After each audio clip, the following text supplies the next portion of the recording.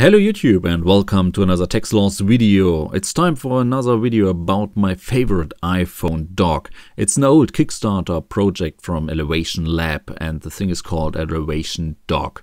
It's an old Kickstarter uh, project and it started as an old 30 pin connector dock here. Later Elevation Dock brought out uh, uh, an upgrade kit so that you could exchange the cable and so it will fit your iPhone 5 and your iPhone 5s. And I really like the design of the solid piece of aluminium. It just looks great on your desk. And uh, even with the iPhone 5 and 5s, you can still use the home button, and it just it really looks like as it would be made for the iPad, uh, the iPhone. Uh, but it still, it's heavy, but it still got one disadvantage. It's still too light for the iPhone that you can just slide it out with just one hand uh, without needing the other to hold down the dock. So this is this exactly the same problem as you have with this cheap plastic docks. But now Elevation Lab brought another upgrade kit and this addresses ex the exact same problem. So you can buy this little envelope. I guess it's about five euros, not even uh, I guess without uh, shipping or even including shipping. So this is really, really, really cheap. And let's rip it up and you can see it. It's also called PET and it's a nano PET. Uh, nanotechnology is getting uh, common these days. So uh, Elevation Lab uh, invented the NanoPad, or not really invented. It's just a nano surface that you put uh, glue, not really glue, but you just put it underneath the dock. There you can see the six-step instruction. First of all, uh, pull it off Okay, and there we go.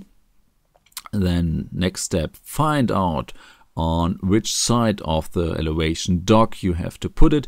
Um, there are holes in, in the NanoPad so that you still can reach the screws. So this shouldn't be any problem. Um, so there you can see it. You can still uh, open up the elevation dock if you have to exchange your lightning cable. Uh, maybe you step over it or it gets damaged or whatever. Or even maybe for the next generation of Apple connection docks. So there we go. Yes, definitely a little bit sticky here.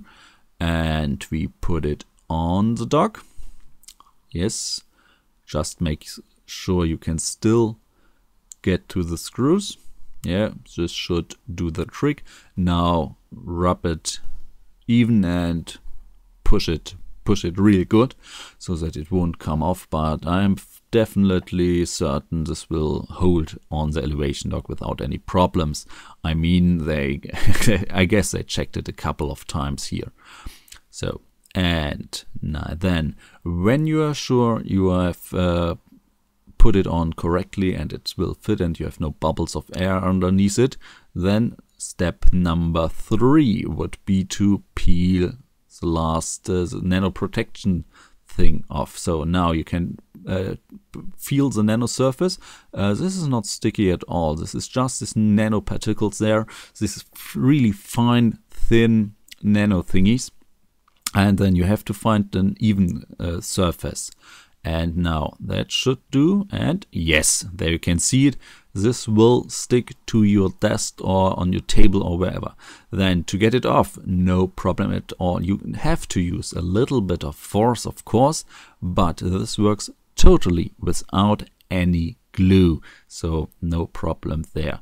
The only thing you have to make sure is that you don't put it on any dirt or dust. So keep your NanoPad clean and this will work. And there you can see I can now even pull my iPhone out of the dock with just two fingers. So this works really, really nice. So make sure your desk is clean, keep the NanoPad clean, and then you should be have a great time with your nice looking elevation dock.